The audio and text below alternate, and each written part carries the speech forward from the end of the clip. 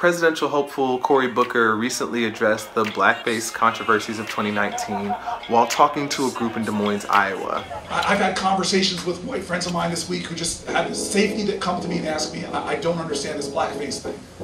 Can you explain it to me? Imagine, put yourself, want to have more courageous empathy, put yourself in a white person's position. Booker echoes this popular notion floating around that white people need space to do race relations poorly because in order to learn, I guess you gotta make mistakes. We've gotta start extending grace to each other so we can have honest conversations and leave room for growth. I just don't buy that white people need for black people to explain to them things that they can Google for themselves. Like, blackface is not a mystery, it's a historic, offensive depiction of black people as dim-witted, inferior beings that you can watch on YouTube. But further, I've gotta ask the question, why are we not asking white people to put themselves in black people's shoes here?